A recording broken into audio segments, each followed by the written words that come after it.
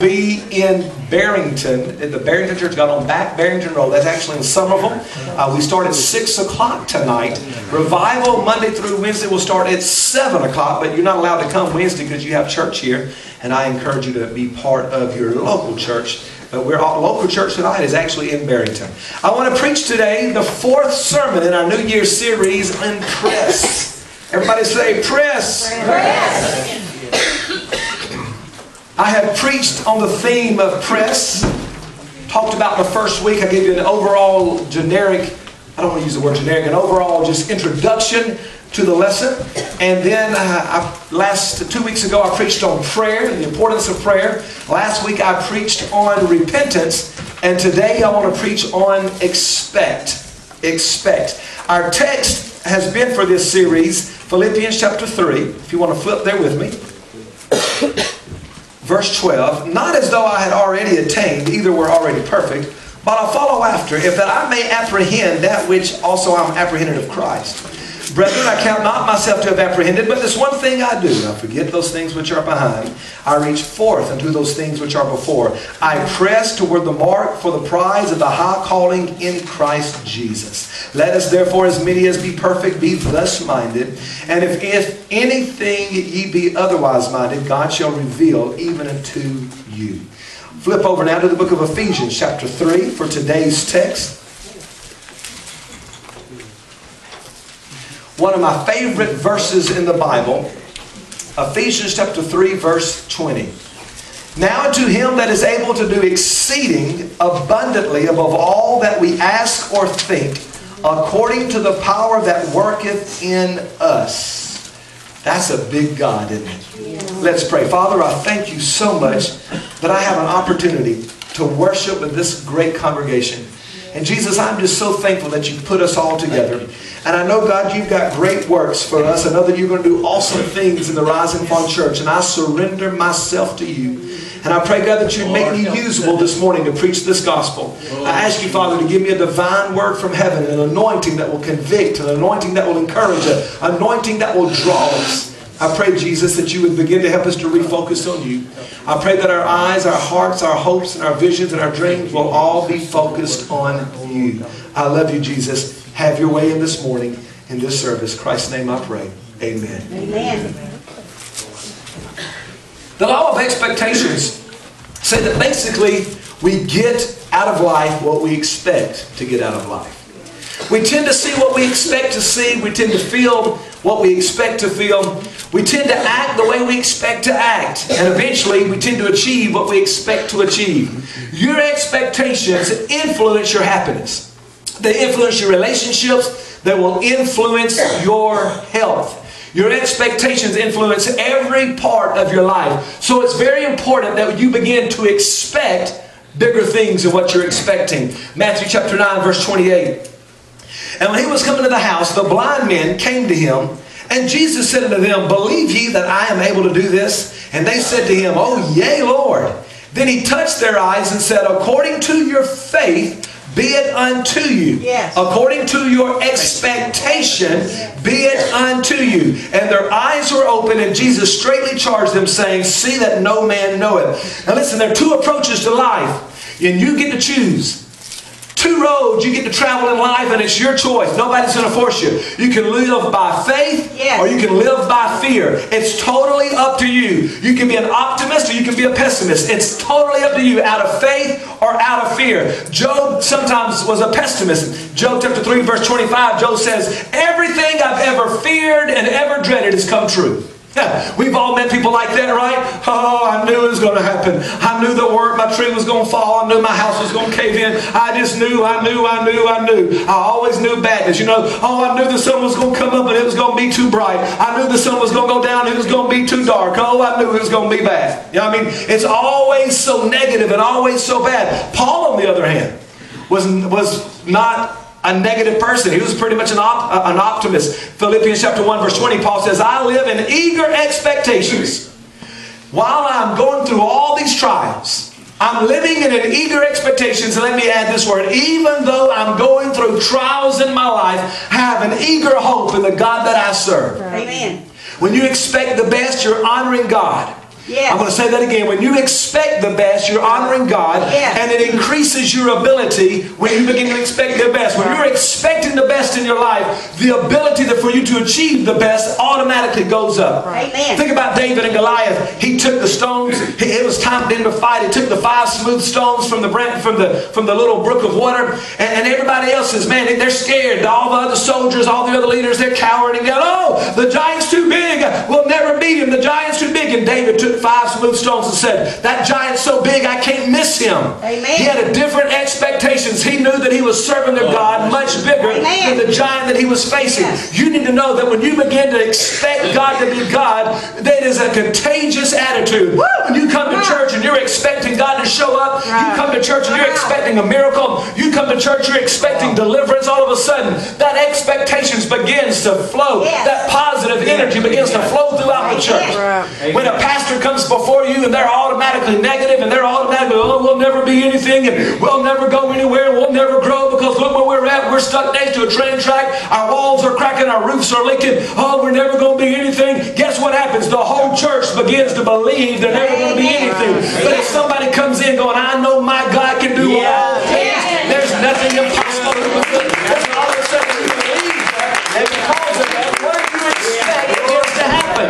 You have got to begin to expect God to be God. Amen. Amen. I know we live in a world where everything is negative. All the TVs and the, the news. I don't even know if you read newspapers anymore, but kids, those are things that get black stuff all over your head. They, they print, they fold them, and they fold them. They used to put them in your mailbox, and people used to ride bicycles and throw them in your yard. But gone are the days of those type of newspaper men. But anyway, everything is negative. Yes. I've tossed a lot of newspapers and got a lot of people mad. I, I'd ride my bike from one yard. I wouldn't get back on the street. Well, I get in the street, but I can ride through the yards. And I'd ride through the yards, and people call the newspaper people. Hey, he's riding through my yard again. Well, yeah, I'm trying to chunk your newspaper to you. But anyway, that's another story. I I started delivering newspapers when I was uh, probably about 13 years old. But anyway, the thing is, everything around us is negative. Everything around us seems to be negative except for the God that we serve. And God says the earth will be covered with knowledge and the Lord as the waters cover the seas. You need to understand the God that you serve knows how the ending happens. I know we're living in a, in a negative time and you can watch prophetic teachings and you can watch prophetic signs and you can either go, thank God Jesus is about to come or you can go, oh my God, the world's coming to an end. It's all based on what you expect. How are you viewing the eye through your eyes of faith? Yes. What do you expect? Are you living your life controlled by low expectations? Is your faith so small that you can't even see over the anthill that's in front of you because you have such low expectations? Listen, if we're going to press into a new season of refreshing, if we're going to press into a season of authentic revival, then we must begin to, and we're going to refocus on God. You have got to expect God to be big. We are we got to stop thinking so small, stop allowing our vision to be so tunneled. God is a big God. Expect God to do great, awesome works. God is an all-knowing God, Yes. all-powerful God, all-seeing God, all-hearing God, all-present God. Let us let God be the big God that He is. Amen. Yes. Expect God to be God. Yes. I really believe here's a problem. We see Jesus, a man. Jesus, a man that loved and taught and healed. Jesus, a man that died on the cross. Jesus, a man that came out of the tomb. Jesus, a man that walked the earth 40 days after his resurrection and taught his disciples. Jesus, a man that was caught up into the clouds. So we define Jesus in our minds as a man and we limit to who Jesus was on the earth because we're going, oh, well, he's just a man. So all of our thoughts and all of our patterns are centered around a man. But you have to remember, Jesus was not just a man. He was all man, but he was also all God. Amen. So you have to quit allowing the expectations to be grounded in what men think and what men say and what the world is teaching you. We serve a big God. Yes. Allow him to be big. Yes. Matthew chapter 9, verse 26, and Jesus said to them, With men this is impossible, but with God all things are possible. Yes. Your situation seems impossible today only because you're judging it with the eyes of men. Yes. Amen. Did you hear what I said? Whatever your situation is right now, it seems impossible because you're allowing your faith to be influenced by the ideas and teachings of men. In other words, let me say it this way. Your situation is impossible because the world tells you it's impossible. Because the Word does not tell you it's impossible. The Word says with men it's impossible, but with me nothing is impossible. All things, all things, all whatsoever you ask in prayer, believing, expecting, you shall receive. In other words, God says it may be impossible with men, but not with me. You're serving a God that's big enough, no matter what your condition is, God is still able. The world is telling you He's not. The world is telling you you're in a situation you can't get out of. The world is telling you you're in a sickness you'll never be healed of. The world is telling you you're bound by financial bondage, you'll never be debt free. But the God is saying, He is saying a whole different thing. Your expectations have been too low. Get your eyes off the turkeys and look to the eagles. God is a big God. Can you give him praise in this house?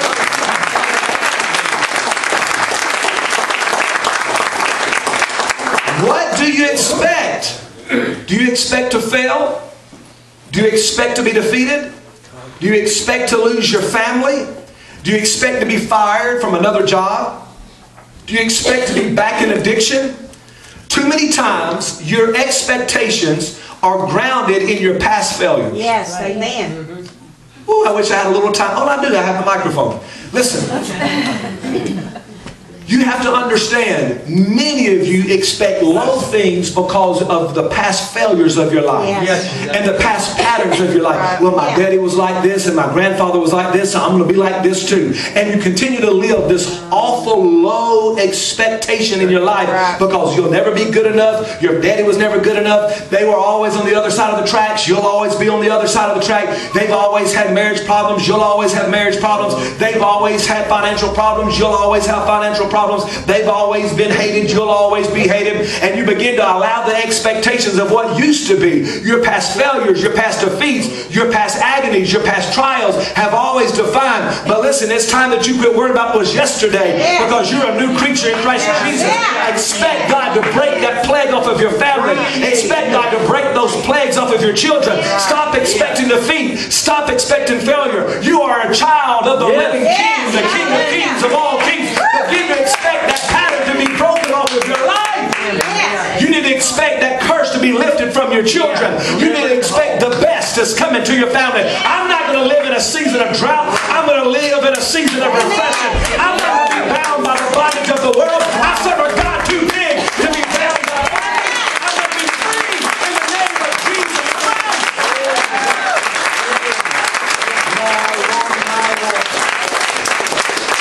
supposed to preach revival tonight, night, this morning. Tonight I'm supposed to act like an evangelist. I'm supposed to be pastoral. Let me get back to my position. Get fired up. You need to understand the victory is coming to your life, but you've got to expect that. Some of you are looking at all of your enemies going, Oh, I'll never be an overcomer. I'll never win. I'll never, I'll never. Quit talking like that and expect God. If you're going to ever press into revival, it's going to because you expect God to show up and to show out. You expect God to take over. I'm believing this year, 2014, we're going to have a season of authentic refreshing and authentic revival. You know what? I'm expecting God to hear my cry and show up on a Sunday morning, Sunday night, and on a Wednesday night. And it's not going to last a week, it's going to last a while. Why? Because I know in whom I have believed and I've got faith that He hears and answers my cry. Amen and amen. Praise the Lord.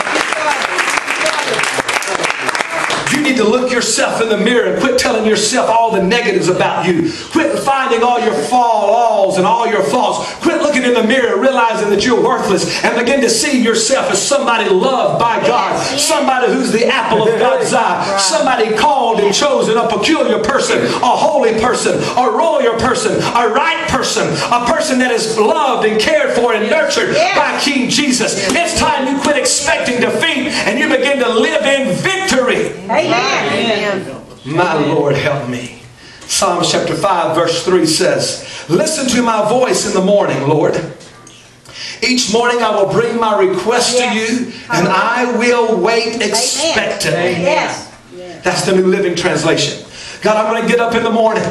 I'm not going to complain because the sun is bright and shining in my window. Right. I'm not going to listen to the devil saying it's going to be another horrible day. You're going to have another fight at work. It's going to be another bad day. I can already hear the children rumbling in the background. It's going to be a bad. No, no, you're going to wake up going, "Oh God, I call on a God that hears my prayers. I call on a God that will answer me. I call on a God I'm going to walk in favor today. When I open the door to my office, I'm not walking into the territory of the enemy, but God has rolled out a red carpet, and I'm going to step into divine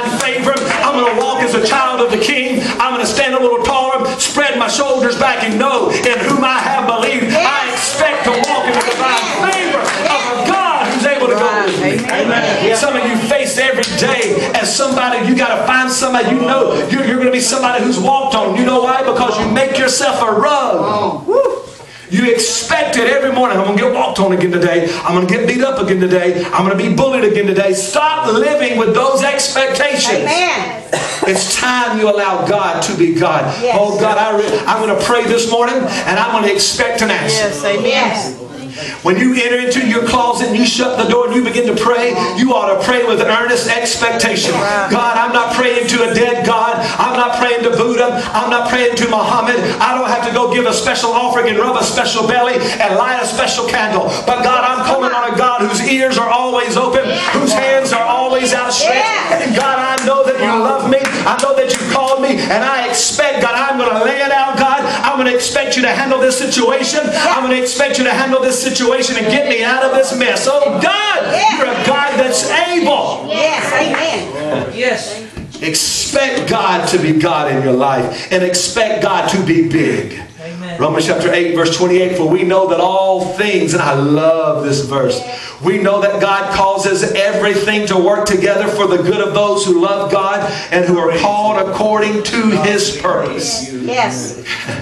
It doesn't say everything is always good, but it says everything works out for good. Yes. Go ahead and brace yourself. You're going to have trials, you're going to have temptations, you're going to have circumstances. But every time I go through a circumstance that's hard, every time I face a disappointment, every time I face an enemy, I'm going to expect to be an overcomer. I'm going to expect to be a conqueror. I'm going to expect to be victorious. I'm not going to ever expect to be defeated because I am a child of God. Amen. Amen. I'm going through a battle right now, but I'm coming out a victorious soldier of Christ.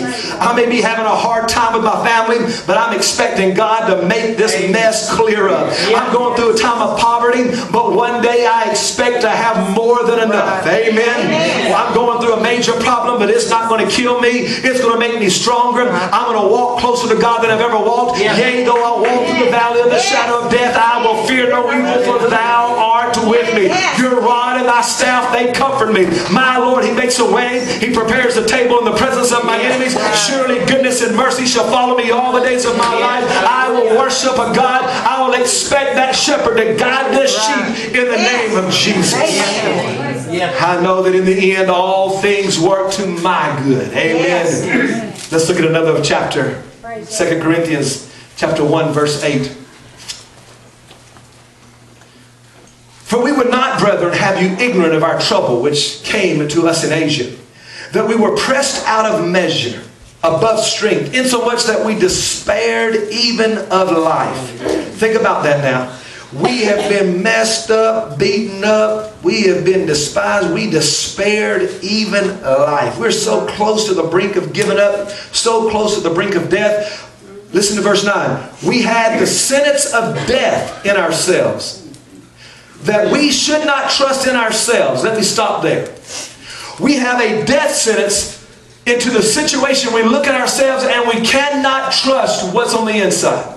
We cannot trust ourselves. We cannot trust anything about us. We cannot trust we're going to make the right decision. We cannot trust we're going to live. But we know that we have to trust in a God which Yes. raiseth the dead. Amen. Boy, isn't it awesome when you get to a place in life, you know you can't expect you to do nothing, but you can expect the Yes. power of the Amen. resurrection to show up. Yes. I'm going to trust in a God that raiseth the dead who delivered us Lord help us. From such a great death and doth deliver, in whom we will trust that he will yet deliver us. Ye also helping together by prayer for us, for the gifted bestowed upon us by the means of many persons, thanks may be given by many on our behalf. Yes. You need to know something. You may have a death sentence, but I'm going to expect the power of the resurrection to come through in my situation. I may be in the middle of a trial, but I'm expecting to be raised. I may be dead and six foot under, but I still expect the power of the resurrection. I might not see hope. I might not see help. I might not see the light of day, but I know in my spirit in whom I have believed, and I will keep my faith and my trust, and I will expect that big old God to help me out of this grave. If He can raise a man who died on the cross out of the grave. He can raise me. It is that same Spirit that raised Jesus up that's going to take this body home. Yes. Stop talking yourself into despair. Stop talking yourself into agony. And let Jesus Christ be who He is in your life. I'm telling you, if we're going to press into a new thing in Rising Fawn, it has to be because you expect God to do great things. Yes. yes. Quit allowing death to be spoken over you and begin to speak life into your situations. Some the, the power of death and life is what? In the power of your tongue. Quit speaking death into your family. Quit speaking death into your children. Quit speaking death into your situation and begin to speak through the power of resurrection. Expect God to show up in your life. Amen. It's like that little old lady, oh my Lord, I'm going to run over today. Go ahead and brace yourself, all right? But I let you out 10 minutes one Wednesday night and I told you I was going to get them back. and today's the day. Let me tell you something. Here's what you have to understand. It's like that little old lady. There's a mountain in between her and, and, and, and the city. And she says, I'm going to pray that God moves that mountain. I, I can't go around the mountain anymore. I need to have a straight shot. I'm getting old. And I'm like Sister Penny. I can't drive down the mountain very good. So I have to run it off the side of it. But God kept her safe, didn't he? Praise God. Now she's got a chauffeur. So God works everything out. Here's what you have to understand. She says, I'm going to go to my prayer closet. The Bible says, if I have faith as a grain of mustard seed, I can say to this mountain, be removed, and it will be cast into the sea. She knelt by her bed. Oh God, I say to this mountain, be removed in the name of Jesus Christ. I believe. And she began to call and she began to claim scripture. She'd go to her window and it'd still be there. She'd go back and pray and pray and it'd still be there. And finally, about a week of praying and the mountain's still there. She said, well, I knew God wouldn't move that mountain. So the truth really came out in the end. You see, it's one thing to blabber a bunch of stuff and it's another thing to live something. Amen. You've got to expect God and have faith in a God that is able. Amen. Amen. Let's look at Isaiah chapter 54. I kind of wish I'd have saved this scripture and preached it all by itself because this is some good stuff right here. This is the New Century Version. The Lord says, Sing, Jerusalem. You are like a woman who never gave birth to children. Start singing and shout for joy. You never felt the pain of giving birth, but you will have more children than the woman who has a husband. Make your tent bigger, stretch it out, make it wider. Do not hold back, make the ropes longer and its stakes stronger. Yes. Because you will spread out to the right and to the left. Your children will take over the nations. They will again live in cities that once were destroyed. Verse 4 Don't be afraid because you will not be ashamed. Don't be embarrassed because you will not be disgraced. You will not forget the shame you you will forget the shame you felt earlier. You will not remember the shame you will you felt when you lost your husband. The God who made you is like your husband. His name is the Lord all powerful. The Holy One of Israel is the one who saves you. He is called the God of all the earth. You are like a woman whose husband left her and you were very sad. You were like a wife who married young and then her husband left her. But the Lord called you to be His, says your God.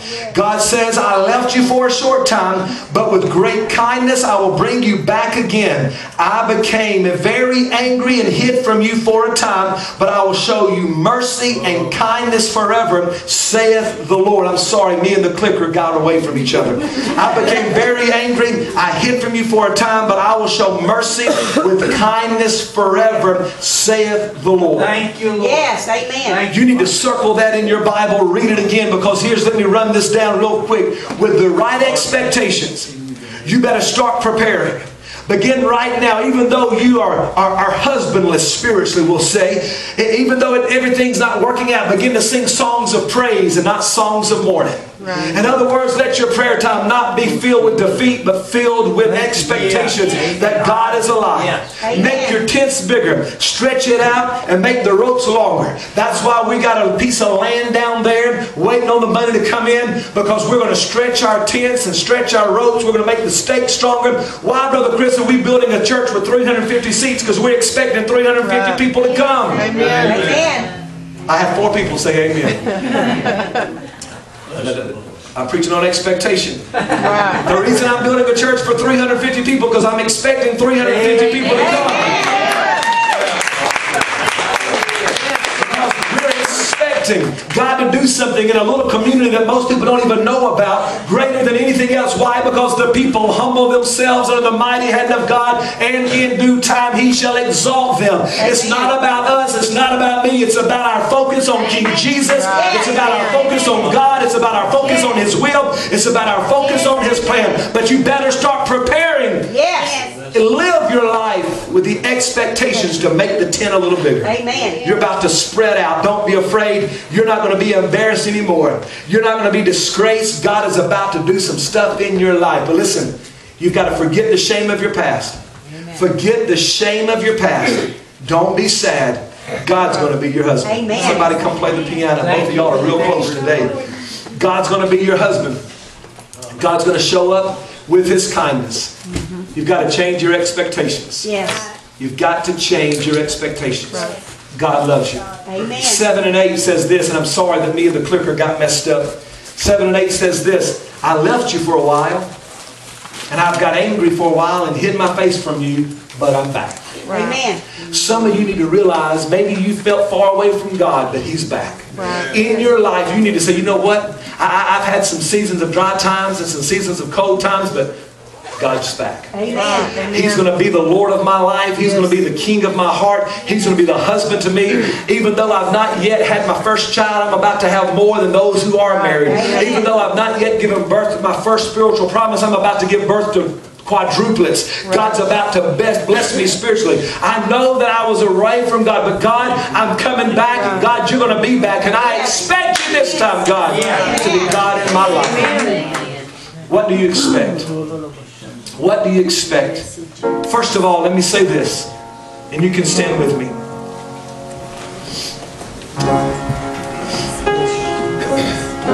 As you move into a season of refreshing,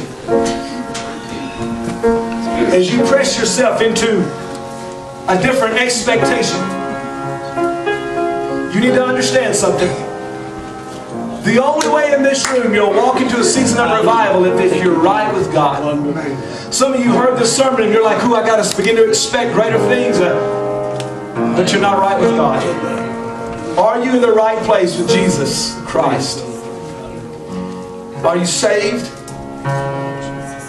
Have you run away from God and you need to come back? And you can go, God's back in my life.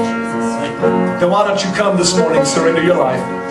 I don't know where you are spiritually, but God does.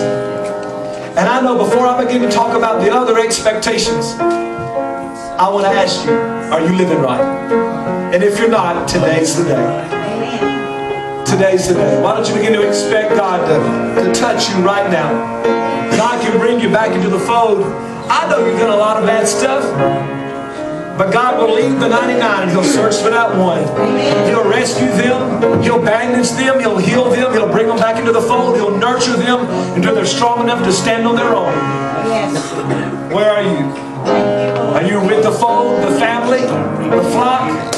Or have you wandered off all by yourself? If so, God's calling you to come home. God's inviting you to come back. I'm going to give you just a second to search your hearts. Are you in the right place with Jesus? Because it's time that you surrender everything.